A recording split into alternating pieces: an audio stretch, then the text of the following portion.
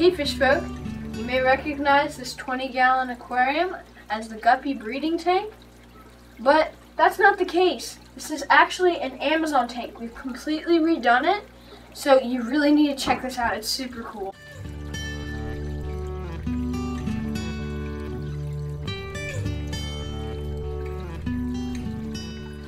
So basically, this tank is now our attempt to replicate the Amazon Biotope.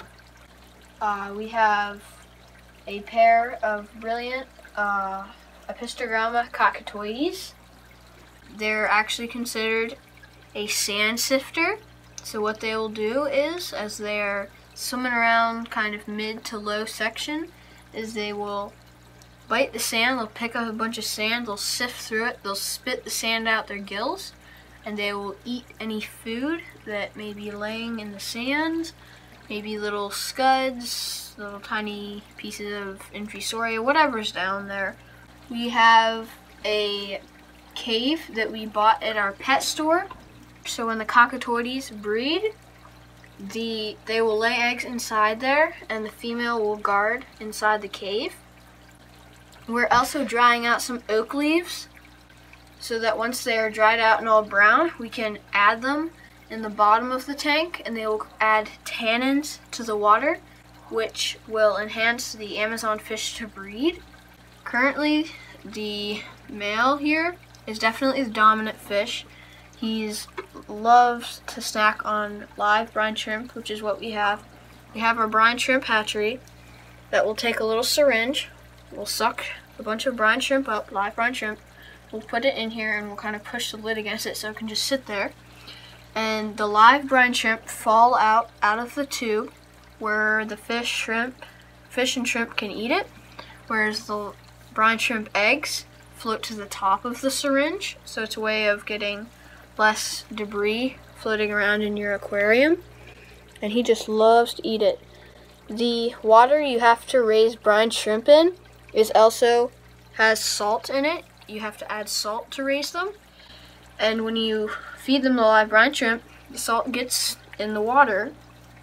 And so adding salt to the water can add electrolytes, which is really good for the fish. It makes them stronger, a little bit more healthy. We have a school of around eight silver tip tetras. And they keep the tank active and lively. If you're sitting in a chair, you can uh, easily see them because they're moving around quickly, chasing each other, finding little pieces of food that they like to eat. Sometimes they at night they like to hide inside the wisteria, as do all of the fish and shrimp. Our cleanup crew is somewhere between 20 and 30 ghost shrimp that were born in this tank. We had a group of about eight ghost shrimp in here uh, we decided that we had just too many deaths and that they weren't doing well in this soft water down here. So we decided to move them upstairs into a another tank where the water was harder and it was better for their exoskeleton. But in the process, we accidentally left one in here and that particular one was pregnant. It gave birth to all of these tiny baby shrimp and over the course of time, they rose up in here and now we have a colony of about 30 of them and they're already starting to breed second generation ghost shrimp. We now have some dwarf cichlids as well as tetras. We recently added a, a middle tank into the stack. That will be featured in another uh, soon to be posted video. But our main focus in this video is on this Amazon 20 long gallon aquarium.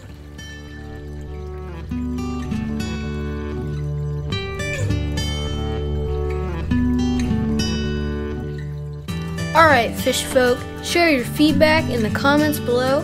Remember to like, subscribe, and turn on the post notifications.